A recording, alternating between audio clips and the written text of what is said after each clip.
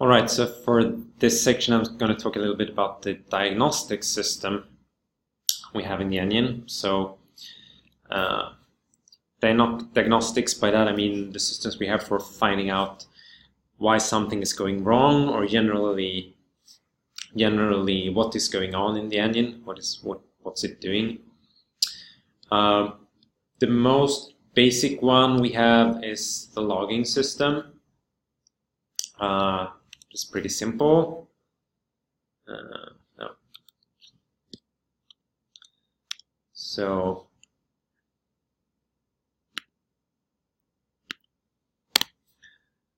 so the logging system is all based around single log system um, that logs at a particular level. We have three levels, info, warning, and error. Uh, and uh, these are the channels for the functions that you call. These all call into the log function. So you call warning on a particular system. System here is just system here is actually just a string, um, but it's wrapped in a type just so that the the idea behind this is that, uh, for example, we want to tag all the unit unit logging with with the string unit. And so that we don't accidentally mistype that string, uh, we have a type for holding it and we put that at the top of the file. So we use a single type everywhere and not accidentally pass in a, uh, the wrong string. And these, these log messages, they will go to, to the console uh, over the console server connection if you have a connected console. Uh, they will go to std out typically. So if you're running from the command line, you will see them directly in your command line window. Uh, you can enable file logging to uh, to get the output uh, into a file uh, that you can sort of examine uh, later if something goes wrong.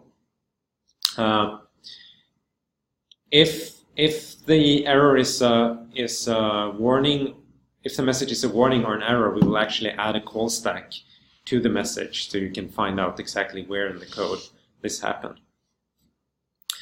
So the way it's used is typically something like this. As I said, you have uh, you're declaring one of these system variables, which is basically just a string, but to avoid misspelling it, you declare it at the top of your file. And then you have some logging function somewhere in the code that logs and then calls eprintf to print the formatted string. And here it's printing ID strings with this uh, special format dot group that will cause the console to expand them, which I talked about earlier. Um, you might wonder about eprintf here. What's what's that? That is our sort of error printing function. That's why it's called eprint.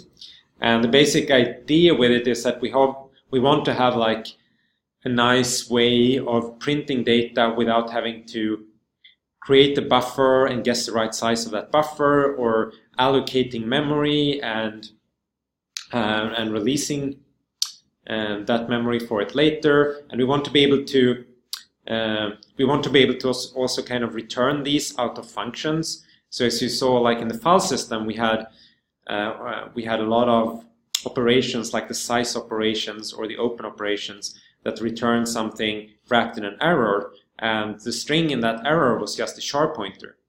So that pointer can't point to like a local buffer because that buffer will go out of scope and the memory will disappear. So instead it's usually one of these, uh, it's usually memory that comes from this eprintf function. And how does that work? So eprintf function um, has a critical section in it to prevent um, collisions. And then it just has a number of buffers. It has like, it has 16 different buffers that it uh, sort of rotates between. So whenever you print, uh, whenever you print with this function, it will use one of these buffers, the buffer index, and then it will increase it. Uh, so the next time someone prints something, it will use the next buffer. So that means that whatever you print with this function uh, will stay around. And, and this, these buffers are static, so they're preserved in memory. So what you print will stay around in memory for a while. And you can't print stuff that's too long because there's like a fixed fixed size on these buffers. Uh, so you print something and it stays around in memory for a little while uh, until we've printed 16 other things and one of those will overwrite what we just printed. Uh, so this is a this is a kind of hacky solution or like a very hacky solution because we don't have we don't really have any safeguards that we're not reusing this memory.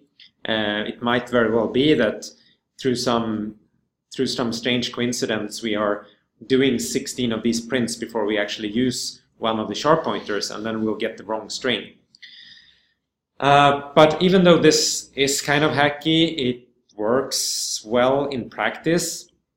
Uh, doesn't lead to any problems. If it did lead to any problems, it wouldn't be super serious. It would mostly be like, we're printing the wrong string somewhere. But even that, I've I've never seen I've never seen that happen.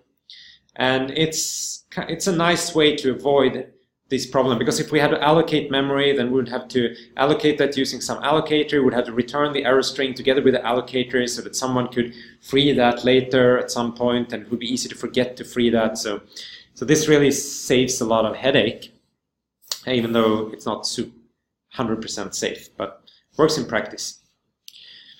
So, um, asserts. Uh, we have a lot of asserts in the code just for for asserting that we're in a good state. And our asserts are implemented as macros. So they have some kind of test. They only run in development. In release mode, we skip them for performance. Uh, but in development, they test some test, and if the test fails, we will report uh, an assert an assert failure report the line and the file number and the test that failed and any other arguments that were passed. Uh, this is actually a variadic macro and these arguments will be passed into an eprintf function so you can use string formatting there. Um, there's also an xensure uh, which is the same as xassert but it doesn't have any message. The idea behind xensure is that it should never fail. These are like, well, if this fails, you you have like your belief of what the program is doing is wrong. So the code needs to be fixed, essentially, if this fails. While this can sometimes fail based on bad data or something like that. Uh, so if one of these asserts triggers, we write a log message which has uh, our call stack, our ending call stack, our Lua call stack, and some other information. Basically, the stuff you need in order to debug and, and find find the problem that triggered this assert. And we do the same thing for, for access violations. We capture structured exceptions on Windows and, and do the same kind of printing for them. Um, we have the profiler. The profiler is used to, to measure engine performance. And it does it through explicit profiling scopes that are put into the code. So whenever you have some function uh, that you want to know how much time it takes, you put one of these profiling scopes uh, in that function. So typically you have that in all functions that you sort of suspect to be a little bit expensive. Uh, what this profiling scope will do, it will access a thread local thread profiler that keeps profiling data for a particular thread. It will register uh, at the in the constructor here, it will start a new profiling scope and it and record the time for that. And when this goes out of scope and gets destroyed, it will record an end of scope.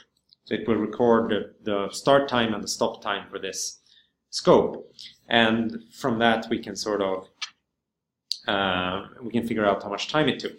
And we keep track of nested scopes. So if you have, if this calls out to some other function, then it has a profile. We can display that in a nice, uh, nice nested graph.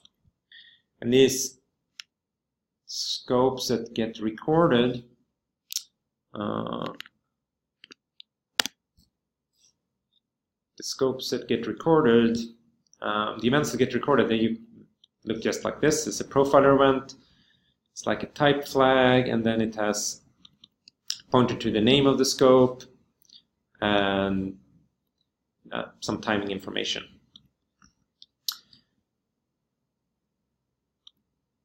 And when we, so we have a thread profiler for each thread, but whenever, whenever that thread exits to its root scope, so whenever, whenever we exit a profiler scope and there is no other profiler scope around it, the thread profiler will send its data to a global profiler, so it will sync its data uh, with the global profiler class. We, do, we don't want to record into the global profiler class because then we would have to take locks everywhere and it would be super inefficient. So this way we only need to take a lock at this specific synchronization point. Uh, and this global profiler in turn sends the profiler data to WebSocket clients that are connected at this WebSocket address at slash profiler. They will get fed these these profiler scopes and then they can analyze it however they want. They can present it in some useful way. Um, we have this in the old console. We have a profiler tool for displaying this. Uh, we've also written some some web-based tools that that connect uh, connect from JavaScript and and uh, just parses the profiling data and displays it using JavaScript code. Uh, one thing to note here is how we treat strings in the profiler. Uh, we don't want to save this string in the profiler event because strings are, as we know, they're messy, they're variable size, they're um, uh, yeah, they're variable sized and can use a lot of memory and so on. And we'll have a lot of these profiler scopes. We'll create them all the time. So what we do instead is that we record just the pointer to the string. So we record just the char pointer. And that's really all we need because the profiler scope, the profiler scopes here only use static strings. So this, this memory will always be there. So we can just follow the pointer to see the memory. And when we talk to when we talk to a tool over this connection, we we send the we send the structs just to say look with the raw pointers, and then we send the table um, on the WebSocket that sort of specifies well this is how these pointers should be translated into strings. So we keep track of which strings we've already told the WebSocket about, so that we only need to tell it about new strings that, that were encountered and and what they mean. So one thing you might ask about this profiling system is it is is it really necessary? Can't we just use a sampling profiler and then then we don't have to do we don't have to do explicit uh, instrumentation of scopes. We, we get like instrumentation all the functions and it's kind of more convenient. But I think this still is useful like uh, in combination with that because a sampling profiler is typically tends to be used only by programmers to sort of it's kind of an, a bit of work to set up a session and, and do do a record and so on. While as with this scope, um, uh, with this with this system, it's pretty easy to look at, um, even for someone who who isn't a programmer. You don't have to set up a special build to do this. You just just run the game and you can look at you, you can see some quick statistics of how the most important functions are performing, like how much time are you spending on rendering, how much time are you spending on updating your world, and so on. So, so I still think this instrumented profile is is really useful, even if you have access to a sampling profiler. Yeah, I would say that all of the platforms that we operate on provide uh, sampling profiler, so it kind of already be redundant work to implement that. And then there's also the fact that they don't all provide nice uh, visual scope profilers like this. I think it's a nice complement to the yeah. on platforms. No, I agree. Uh, so the final thing that I'm I'm not going to say that much about this.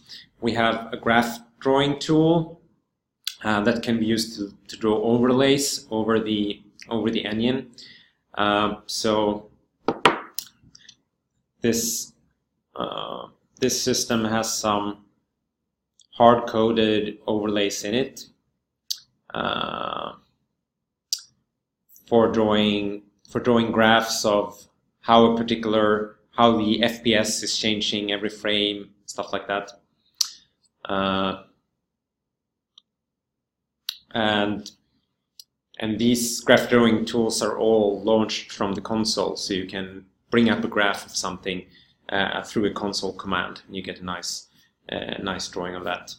Uh, and this also provides the the render overlay information that you can trigger from the console, where you see how many how many meshes we are rendering, how many times we're how much time we're spending in different parts of the renderer, and so on.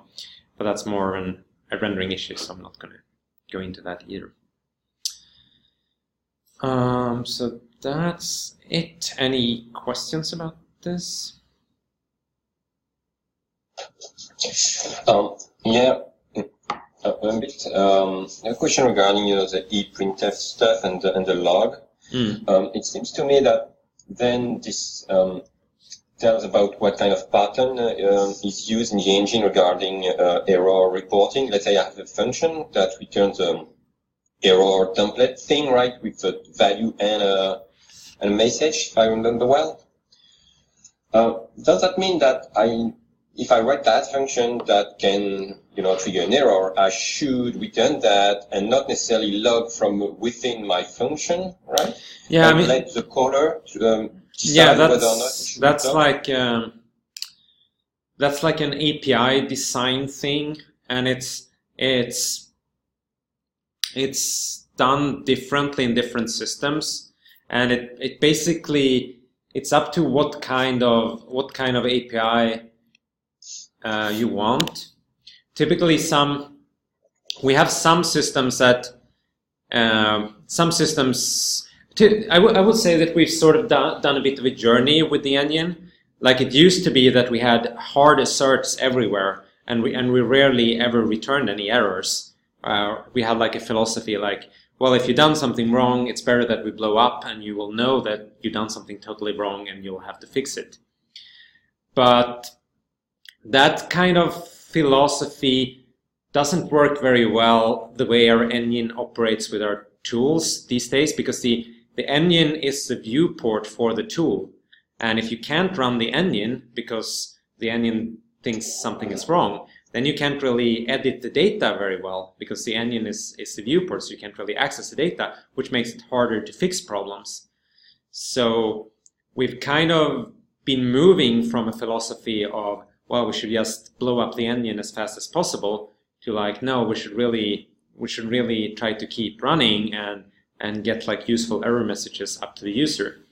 So most of these, most of these functions in like earlier versions of the engine, they would re- just return a bool. And if there was an error, it would assert or, or perhaps log an error message and, and return false or something like that. Uh, but now we sort of clean this up and, and have a bit more proper error handling here so you can reason about errors. Uh, but I wouldn't say that there are that many systems where we do that. It's typically only when we when we interact with stuff that can be that we have like limited control over, like the file system on Windows. We have very limited control. Windows can suddenly decide that the file is locked and we don't know who locked it or why, and there's nothing we can do really. So, so those kinds of things we need to treat as errors.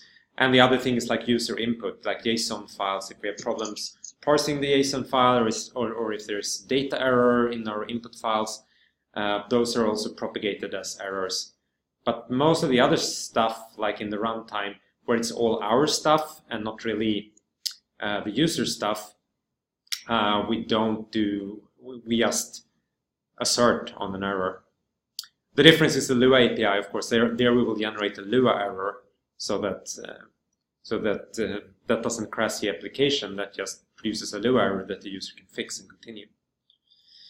Yeah, but just just one, one, to dig into that. Let, us say we take this uh, is directory, and for some window Windows, you know, has locked something that you know you are in error state, right? Yeah. Um, when we look at this API, can we expect this directory to log, uh, to call the, the log function?